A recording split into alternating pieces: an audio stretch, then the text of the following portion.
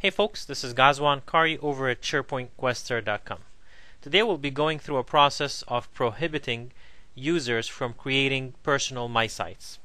So if you want to prevent specific groups of users or individuals from creating a My Site, here's a suggested approach. We're going to log into a domain controller in our Active Directory as a domain administrator. We're going to create a group and a security group, any member we place inside of the security group will be able to create a my site. If they're not placed in the security group, they're not going to be able to create a my site. We'll make that connection in SharePoint.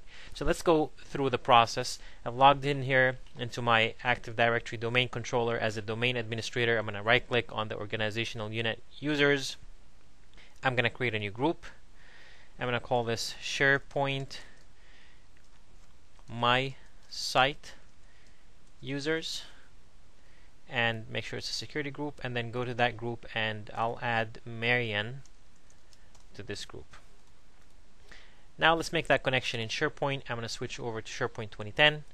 Click on Central Administration, Application Management, Manage Service Applications.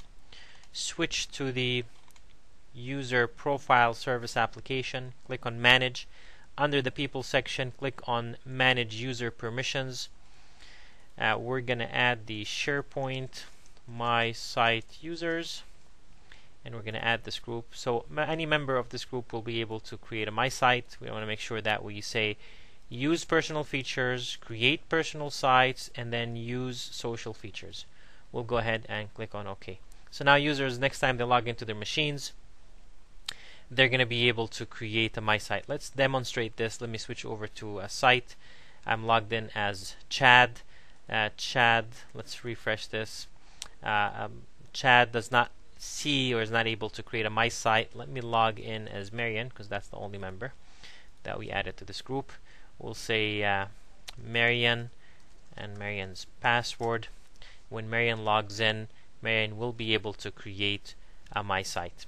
So that's how we prohibit specific users from accessing or from being able to create the my site. This concludes this video. Thanks for listening in.